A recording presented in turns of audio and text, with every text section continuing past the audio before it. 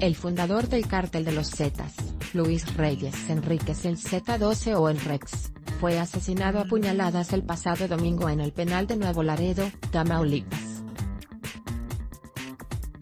El crimen fue cometido dentro de ese penal, horas después de haber ingresado el fin de semana a ese penal, y fue ayer lunes cuando la muerte del Z12 o el Rex, fue confirmada. Lee también, en operativo capturan al Z12, operaba en el norte del país el Rex fundó el cártel de los Zetas junto con exmilitares y expolicías federales. Este grupo es fue uno de los mayores rivales del cártel del Golfo. El Rex murió el domingo luego de ser atacado con armas punzocortantes, pero fue hasta el lunes cuando fuentes oficiales confirmaron su fallecimiento.